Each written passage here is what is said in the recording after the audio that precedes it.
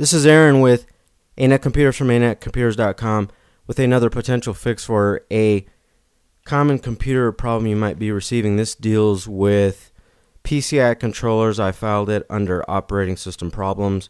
PCI controllers, how to quickly fix missing PCI device drivers. Cannot connect to the internet because you are missing your Windows PCI Bridge controller? That's a question you can go into Control Panel and then Device Manager, right click on that PCI Bridge controller and delete it. Click on a Refresh Hardware List icon. In Device Manager, Windows will find that PCI Bridge again.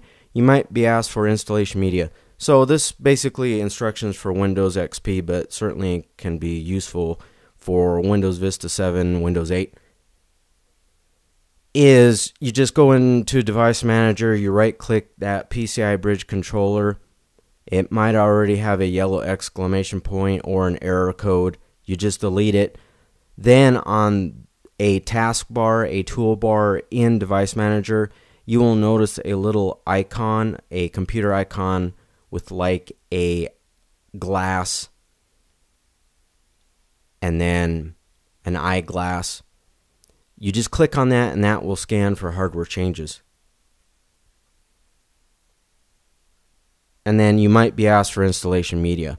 If you have a restore CD or a Windows XP CD, place that into your CD-ROM drive before you reinstall that PCI bridge. It should copy that needed driver off that CD. Another option is to perform a system restore back to before this issue occurred. Windows XP Vista 7, 8, you'll you might need your installation CD or a restore CD. Or another option is if you have Windows updates enabled, once you remove that device and then you click on scan for hardware changes or refresh hardware list icon, it might go out over the internet and try to find PCI controller drivers off of Microsoft's website, but it may or may not. It might ask you for installation media instead because that means that those drivers for that PCI controller were installed off of either Windows XP or a restore CD.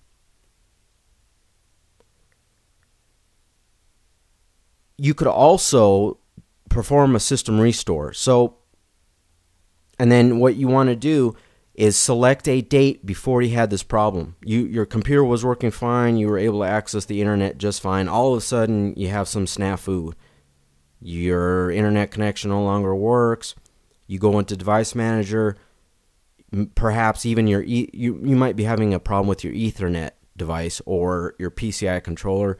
You see a yellow exclamation point with an error code. Well, you could skip these previous steps if you want if you are more familiar with fixing your own computer problems, you could all whatever, it's your free choice. You can always just go to perform a system restore. But system restores don't always fix issues. And then also they can take quite a while. But you could you could do that. You could go into control panel, then select system and then choose restore this following fix works on a eMachines T6426 running Windows XP. So this fix actually worked on a live machine, an eMachine T6426, and their operating system they were using was Windows XP, but I think these are easy enough instructions that you could use these for Vista, Windows 7, Windows 8. And hopefully one of these tips or one of these instructions solves your problem where your PCI bridge controller driver in Windows became corrupt or whatever whatever reason. Perhaps when you, Windows updates ran and then that PCI bridge driver was corrupted when a newer driver was downloaded. Sometimes that happens with Windows updates. Anyways, you can always browse to anetcomputers.com for other possible potential fixes for your most common computer problems. Thank you for listening.